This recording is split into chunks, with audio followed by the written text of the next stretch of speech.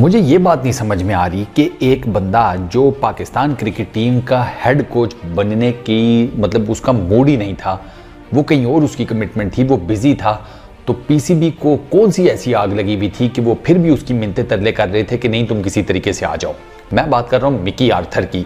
आपको पता है कि मिकी आर्थर को जब 2023 में ये जो पिछले चेयरमैन साहब हैं, नजम सेठी, इनकी तरफ़ से अप्रोच किया गया और उनको कहा गया कि आप पाकिस्तान की टीम के हेड कोच बन जाएँ तो उन्होंने मिकी आर्थर ने माजरत कर ली थी। उसने कहा, नहीं भाई, मेरा डरबी शायद क्रिकेट काउंटी के साथ चल रहा है, मैं उनका हेड कोच हूँ, उनके बाकी कई मामला देख रहा हूँ तो मेरी अवेलेबिलिटी नहीं है। आप अंदाज़ा करें कि बजाय इसके कि किसी और बंदे को अप्रोच करते हेड कोच बनाने के लिए, इस पीसीबी ने नजम सेठी साहब के अंडर इन्होंने मिकी आर्थर को क्या कहा कि अच्छा चलिए आप ऐसा करें, आप ना हेड कोच ना बने, आप ना डायरेक्टर क्रिकेट टीम बन जाएँ और उसके बाद आप बस हमारे साथ रबते में रहना, आपको पाकिस्तान आने की भी ज़रूरत नहीं है। ये पीसीबी की मेंटालिटी है, अपनी क्रिकेट टीम का हेड कोच हायर करने के लिए। यार, वो बंदा नहीं तैयार था तो रहने देते, किसी और को जाकर कर लेते, अब उसका नुकसान क्या हुआ? मिकी आर्थर पाकिस्तान ऐसे आए नहीं ज़्यादा। इस वाले टेन्योर में।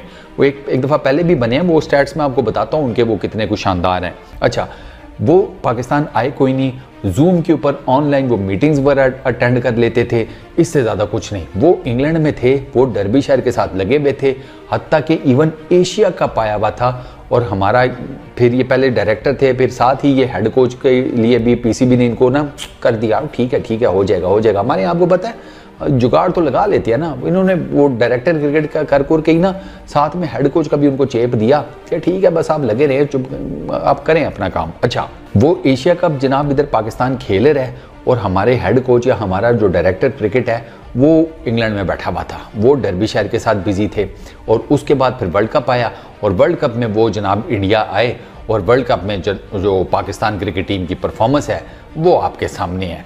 तो लिटरली मैं आपको एक बात बताऊँ कि मुझे नहीं समझ में आता कि ये नजम सेठी साहब, खैर वो हैं भी साफ़ी, ना कभी क्रिकेट का बल्ला उठाया, ना देखा, ना क्रिकेट की बॉल का पता, ना क्रिकेट की अलिफ बे का पता। एक साफ़ी जब क्रिकेट बोर्ड को चलाएगा, सियासी भर्ती के ऊपर, वो इसी किस्म के फैसले करेगा ना। तो ये पता नहीं उनको, मिकी आर्थर से क्या मोहब्बत थी कि इस बंदे के इनकार करने के बावजूद उन्होंने लगा दिया इसको और वो फिर ऑनलाइन अपनी नौकरियाँ करते रहे और पीसीबी से मोटी मोटी सैलरीज लेते रहे।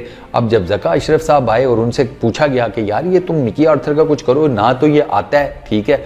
और ना ये काम कर रहे हैं, ऑनलाइन मीटिंग्स कर रहे हैं, ये क्या तरीका है? भाई, ये कौन सा क्रिकेट डायरेक्टर है? तो जका अशरफ साहब कहते हैं, भाई, हम क्या करें? पिछले वालों ने रखा था, उन्होंने उनके साथ कॉन्ट्रैक्ट किया हुआ था। अब जब कॉन्ट्रैक्ट एक्सपायर होगा तो फिर तब की तब देखेंगे। ये हालात हैं पीसीबी के। क्योंकि जहरी बात है कॉन्ट्रैक्ट में लिखा होगा कि अगर पीसीबी मिकी आर्थर को निकालता है तो फिर कोई उसको, जहरी बात है सेटलमेंट में कुछ ना कुछ तो देना पड़ेगा। तो पीसीबी अब इस वजह से मिकी आर्थर को निकाल नहीं सकता।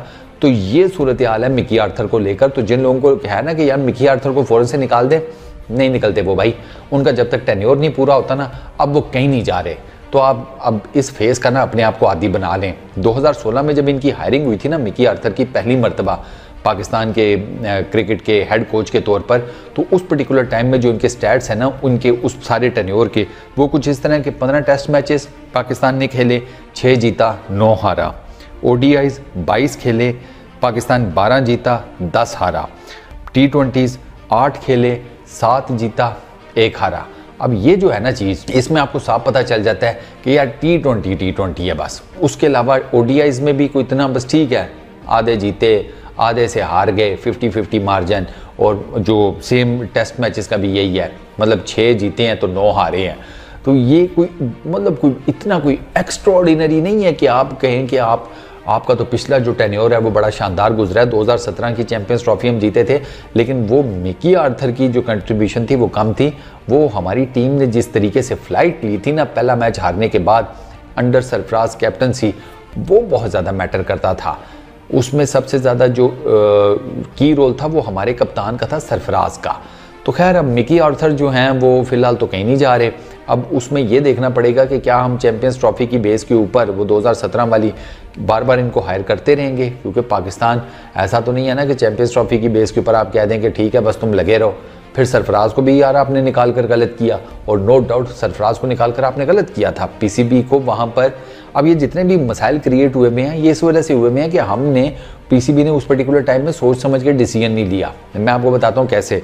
सरफराज की टेस्ट मैचेस में इश्यूज़ चल रहे थे, ठीक है, उनकी परफॉर्मेंसेज एंड ऑल दैट जो वाइट बॉल क्रिकेट थी ना, उसमें उनका कोई बहुत ही डिजास्टर्स किस्म का वो नहीं था ट्रैक रिकॉर्ड ये पहली चीज़ मैं आपको बता रहा हूँ।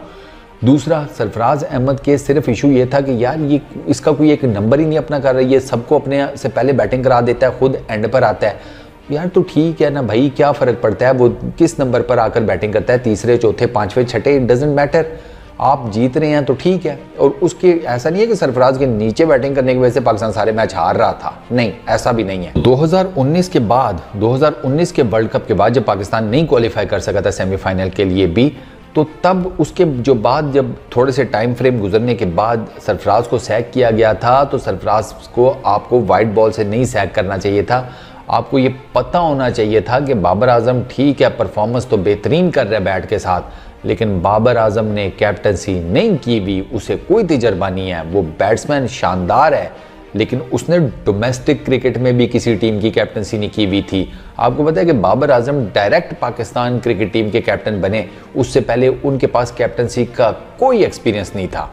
ना मुझे नहीं याद पड़ता, ना क्लब लेवल के ऊपर, ना पाकिस्तान की डोमेस्टिक क्रिकेट में किसी टीम की तरफ़। तो फिर उसका नुकसान हमें भुगतना पड़ा।